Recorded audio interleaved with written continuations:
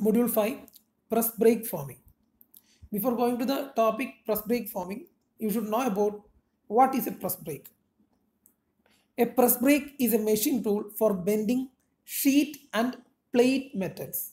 The forming operation done by using a press brake is known as press brake forming. Okay, usually in press brake forming operation, a press brake punch, a die, and a workpiece is there. This workpiece is positioned over the die block and is formed by the punch as it is forced into the die cavity. Uh, for avoiding spring back or for eliminating spring back, many dies are designed to overbend the part. Okay, this will automatically compensate the material spring back. Spring back. The process can be automated easily. The press brake forming operation can be uh, automated easily for low cost and high production runs. The press breaking operation can produce variety of shapes. You can see different types of shapes. That is 90 degree rib form, 90 degree bottom, channel, closing, double form, hand channel.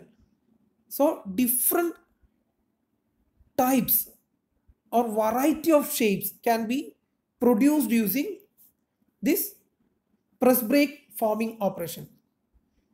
The characteristic of the press brake, brake forming process are its ability to form ductile materials. Ductile materials can be easily formed using this press brake forming operation. Using both low and medium production run application. This process, that is, the press brake forming operation can be used in both low and medium production run application. It needs only a minimal tooling. It is suitable for smaller parts and we can produce V, U and other channels by using punch and die. Okay. Next, we will move on to the topic stretch forming. We'll move on to the topic stretch forming. Before going to the topic stretch forming, we should know about stretching. What is stretching?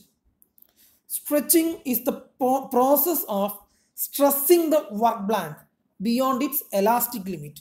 Stretching is the process of stressing the workpiece or the work blank beyond its elastic limit.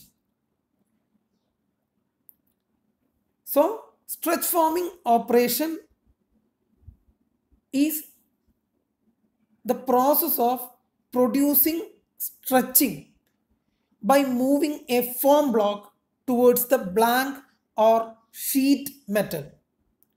So, in stretch forming operation, stretching is done by moving a form block towards the blank or sheet metal. The, the form block has projection of exact size required on the blank, which is in the form of depression on the same block. The methods of stretch forming are form block method and mating die method. Okay, here we can see a type of form block method. In this method, the two ends of the blank, the two ends of the blank are tightly held by adjustable grippers. Here we can see adjustable grippers, form block, and a hydraulic cylinder. Okay. So, in this method, the two ends of the blank are tightly held by adjustable grippers. Then the form block is moved towards the blank to make the required shape.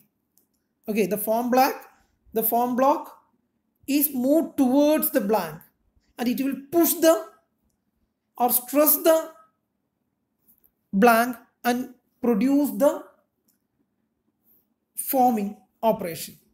Okay.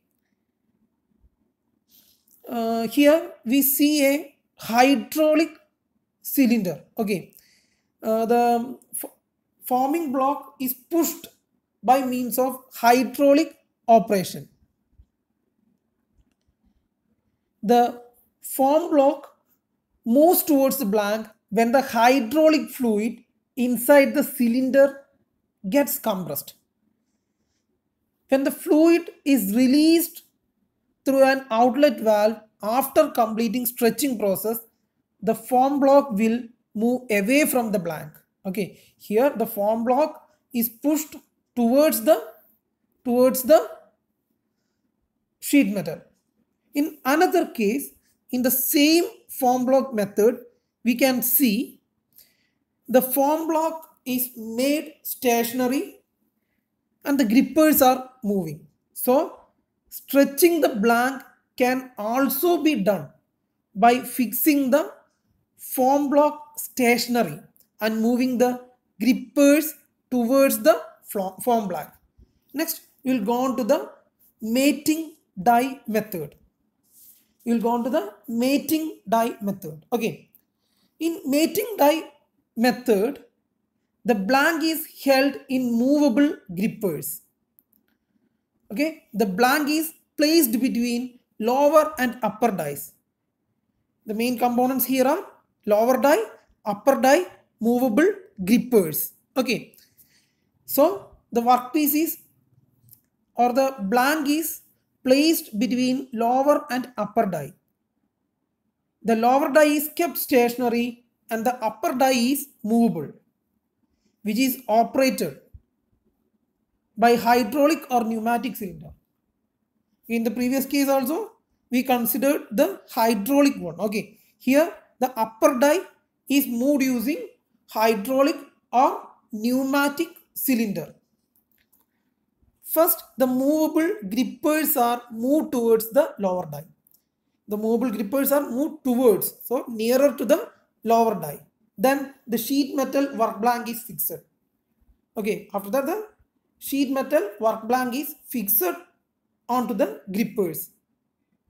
Then the next step, the grippers are moved away from the lower die. This, this will cause elastic deformation on the workpiece. After that, the next step is the upper die is moved towards the blank. And due to continuous stretching, the plastic flow of sheet metal takes place between both the upper die, both in the upper die and the lower die or in the both dies. Okay, sheet uh, the plastic flow of the sheet metal takes place between the upper die and the lower die. When the upper die edges reaches the top surface of the blank, the stretching process is completed. Okay the advantages, the main advantages of stretch forming are blanks can be stretched in a single operation. There is no need of any heat treatment before and after stretching process. And direct uh, bending is not introduced. Plastic deformation is due to pure tension only. Um, then the tooling cost is very low. The method is most suitable for low volume production. This process also have disadvantages that is uneven thickness of the blank, blank cannot be stretched. Uneven thickness of blank cannot be stretched using this process. And we are uh, using hydraulic or pneumatic cylinder so the maintenance cost will be high. Next, the process requires high quality form, form blocks. So it is economical. Okay. Next, the application. The uh, This type of mating die method uh, is applied in production of aircraft wings and also in the production of contoured panels for truck trailers and bus bodies in automobile industry. Okay and uh, for an additional uh, point as an additional point I am giving that the material for die and form, block, form blocks may be wood, masonite, zinc alloy, cast iron, etc. Okay, thank you.